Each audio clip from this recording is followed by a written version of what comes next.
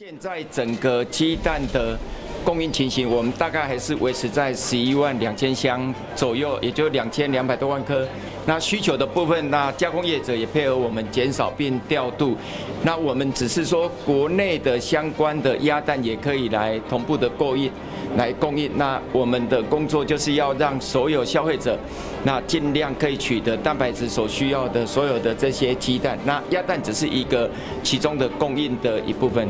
刚才是被质疑说鸭蛋可能不能取代鸡蛋。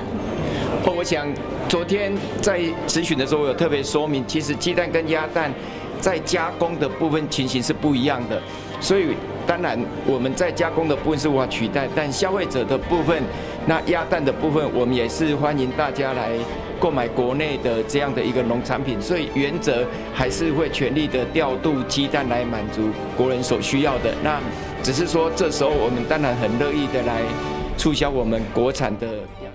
现在也跟我们所有的消费者报告，我们掌控的今年的所有的大宗物资，尤其是玉米的期货价格是在稳定的回稳，所以我们的饲料的成本在几个礼拜前已经回跌了每公斤零点五元。那我们会认为这样的一个价格，饲料的价格会相对的回稳的时候，我想我们饲料的呃我们畜产品的这样的一个价格呢，就会稳定在一定的水准。